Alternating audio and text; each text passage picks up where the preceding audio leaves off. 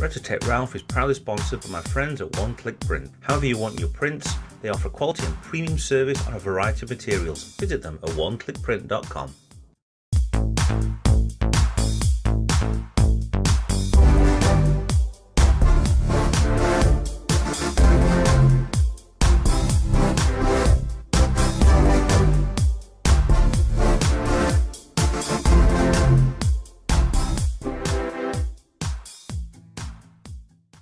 Hi guys, Retro Tech Ralph here. We're back on the bench with the Atari 7800. If you remember the last video, it works fine. We got it all cleaned out, working absolutely perfect. A little bit worn in some areas, but it's absolutely fine and perfect. What I need to do is not so perfect, is that.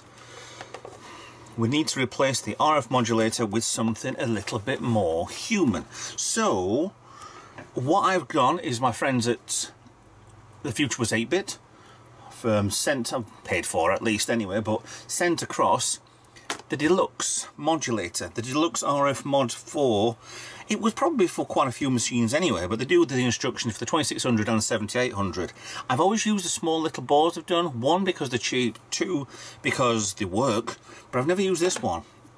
The board is small which it is that big stick on the back, yada yada. It probably says Future 8-bit on there as well before I put that sticker on. But all is exactly the same. It's got a tiny little resistor, diode, socket on there which isn't on the other one. However, you've still got the output and still got the input. All you need to do is wire four cables in like the other version and then on the back you've just got a standard, well you'd think standard, three and a half millimeter socket, but it isn't. It's one of these with a four pin. However, it does give you all three. So it's basically video, well, it'll be video, audio, audio, earth. So it gives you all three for a standard composite mod. And then what you can do with this one's good thing about this, replace the RF modulator, stick this to the board, all you'll see at the back is this tiny little hole. You get your cable, plug her in, and then you play. But when you've not got it, it's the same as what it is now. It's very easily displayable. You haven't got like the 2600 big long coax cable dangling out the back. They at least did that and took that off. So what I need to do is get into this, remove the RF modulator, remove the parts that they show, but they do tell you. They do give you full instructions of what to do on all of the mods. So you've got 7800 PAL, which is the one I've got, the NTSC isn't there are slight modifications. So what I'll need to do is RF modulator out, which I think I tried last time, but it's not it's not too easy, but it looks easy enough. I really need to remove this, that Q9, is that a diode? Is that something else? I think that's a, oh, you get a screw in it, I don't know, it's variable resistor or something. Resistor 62, resistor 32. So whatever Q8 is, I don't know, we'll find out. Very similar to, I did a 2600 mod, the Vader mod, not long since. Um, you got two parts there, easy. One over here, one over here. That's as difficult as the mod looks like it is to be. I mean, like I said, you can use the same mod on other things. So, yeah. It's the same wires for this and the other one. It just, that's the one that I use in the 4-switch PAL remove, remove, remove, remove, wire, wire, wire, wire. Same as, virtually anyway. So I'll get into this, get down to the board and see, yeah, we'll, we'll try and remove things before we start wiring them up. So, very easy to get into. One, two, three, four, five Phillips screws, the plus ones. Under those, flip it over. Turn, take off the lid. For me, it's easy because it's clean and it's not covered in goo. Um, lift out the board, preferably from the back, and then out it all comes. Keep case to one side, unless you're modding, unless you're going to do something funky with these. Remove all the pins, which is basically get yourself a small screwdriver, re-bend or twist all of these back up. I chose to not bend up all of these pins along the side, all of them, because usually they're twisted.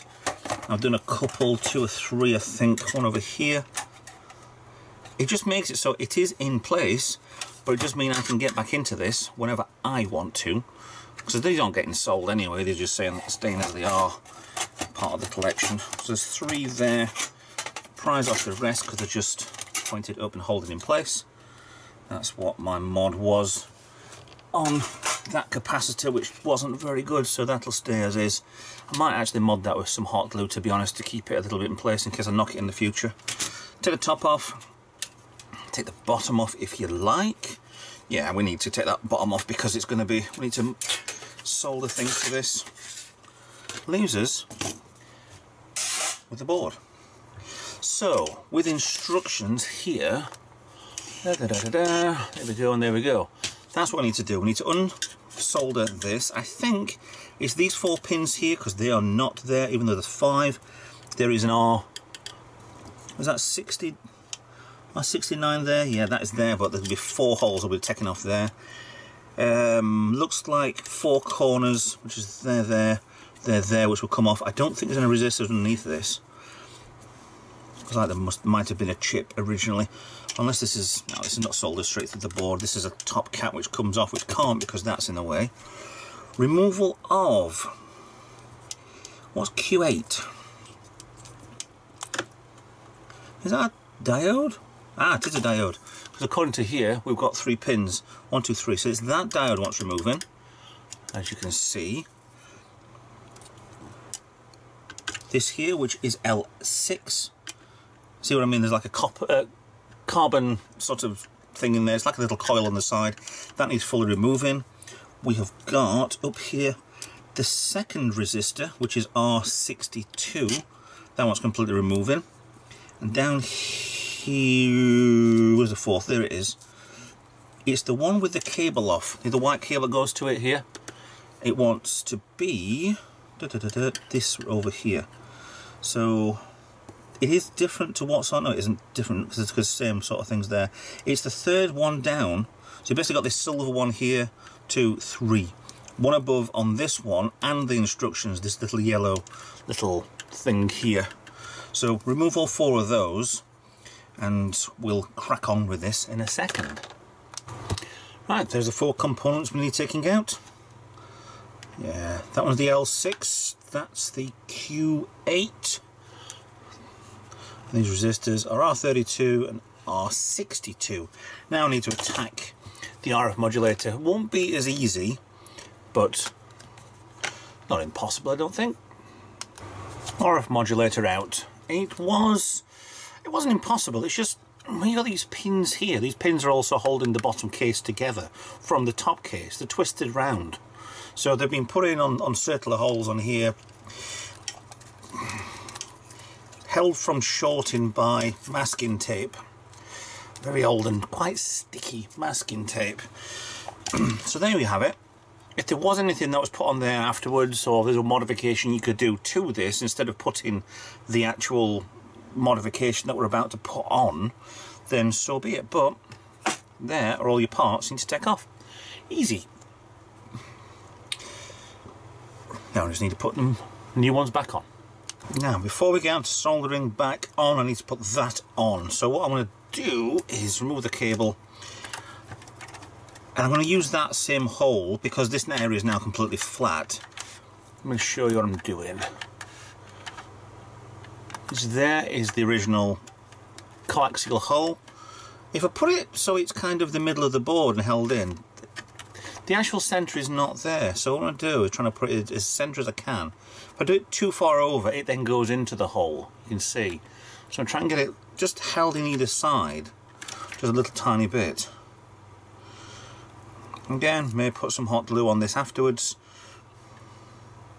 depending how I feel. So let's keep this at an angle, so I'm going in forward socket first, so I can line it up.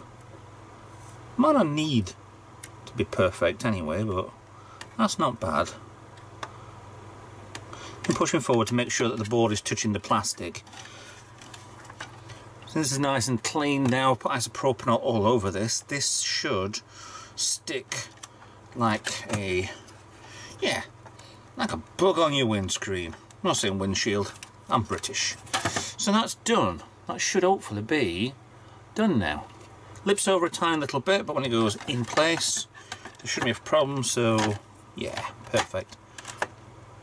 Then from the outside, all you see is that. Yeah, you can see everything inside. You always could, but you've got a hole along the side of it, which is just absolutely nothing. So what the circle on the square means there, I don't know. That is a predecessor to the PlayStation. I don't know. So what we need to do is, right, get us cable. If you want to use the full length of the cable, please do so. Goes in that way, yellow to the right. There you go, get it right, Ralph. Yellow to the right. So what I need to do now is wire up, according to this, the R32, this will be out of, of the case by the way, R32, the yellow cable goes to R32, so I can cut that short and wire that over here. The white cable comes down here to the other resistor, second one which is down to the right hand side of R32. Yeah, because that's 62, that's 32, yes. And then on the RF1 section here, the black one goes into here, the number one, the number one socket, and the red one goes above it. That is as simple as you can get.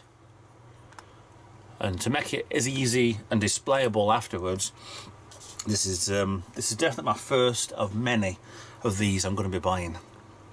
There we go, soldering done. Wiring fully complete. Get you zoomed in a little bit just to show you exactly there. Apart from that red wire going just a little bit, that's pretty much the same as the picture really. I'm quite impressed with that. Done, sorted. All I've got to do is get it back, back in the case, get it plugged in, see if she works. Now, all done, all back together again. I'm gonna start. I'm gonna play Choplifter. I think before we played Asteroids, we didn't really put the cartridge in there anyway. So, ready? The AV socket. The AV socket in. The power cable is out. The AV socket isn't in. okay, so power socket is in. The AV socket just plugs straight in. I've hot glued the board as well as putting the, the pad on the back of it so to get a little more strength. So get this powered on. And to chav it up a little bit, just to remind me a little bit in the future, blue LED as well. Just in, see it quite well there. Just to remind anybody that is actually modified, they probably realise the modification anyway, because the cable that comes with it. I mean, the whole picture itself doesn't look that good. But, um, there we go.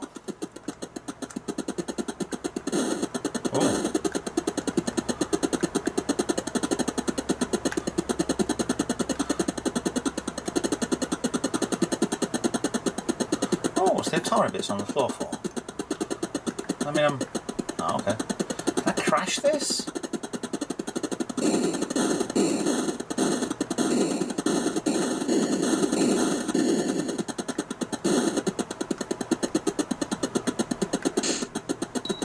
I think I killed him then.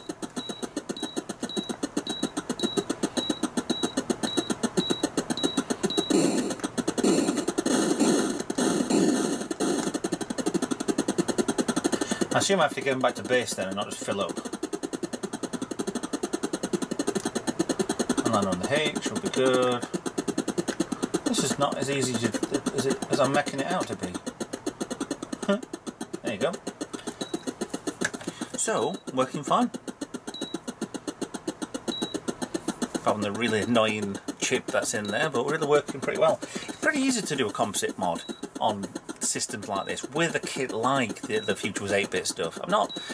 I, I, do like them, they're good people, they're a very good um, yeah composite mod to, to do, either either of them. So, yeah, pretty good, works perfect. So there we go, all done and sorted. Nice, very to me that's actually pointing because there's a little slight angle that's actually blinding me there you go that's what it looks like kind of big blinding blue LED but yeah perfect, absolutely spot on. Didn't think I'd enjoy the 7800 when I got the first, got it, but yeah, absolutely really do enjoy it. So take out RF, four pieces and uh, a green LED as well to put the blue in, and that's what you do. That's how you do a composite mod on a 7800. PAL, I don't have an NTSC, but it does look very simple to do for the NTSC version anyway. But like I say, they do have other ones as well, Future 8-bit. Easy done. Thank you very much to them. Let's power off, lift out, and board out. So with that in mind, thanks for watching. Please like and subscribe. If you can help out best you can with the Patreon, with a, a, a join on YouTube, with a join, with a subscribe, with a thumbs up, with a comment, with a share, anything. When you want to you know, send something in so I can get it fixed, anything and everything is very welcome here in the garage. So with that in mind, thanks for watching and I'll see you in another video. Bye for now.